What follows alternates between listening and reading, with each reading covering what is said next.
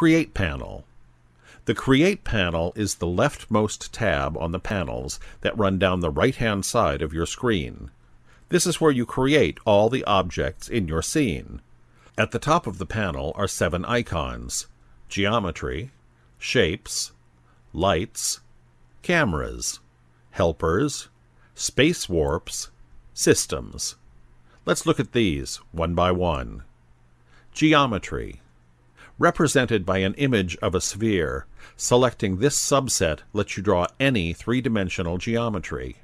The default is standard primitives, box, sphere, etc.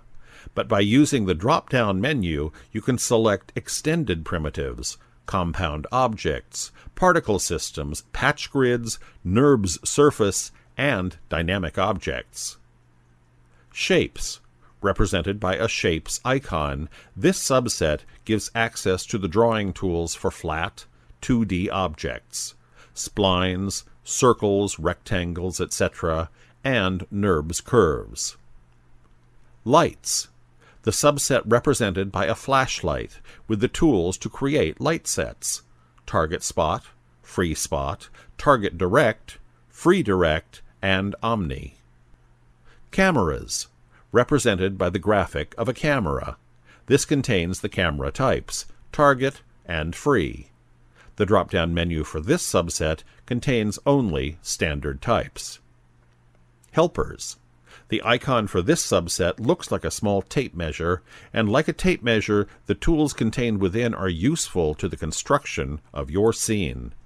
The drop-down options for this subset are Standard, Dummy, Tape Measure, Compass, etc., Atmospheric Apparatus, Camera Match, and Manipulators. You may see other options here if you have certain plugins, like Reactor or Shag Hair. Space Warps. This subset, represented by an icon depicting several waves, lets you create forces and other environmental factors in your scene.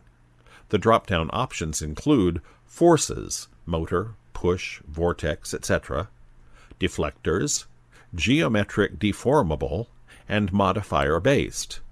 Like the above, you may see other options if you have additional plugins. Systems. This subset, whose icon depicts two gears, lets you create complex systems with the push of a few buttons.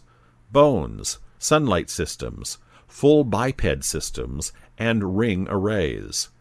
The drop-down menu for this subset contains only standard types. Thus, Create Panel provides full power to create objects of your wish.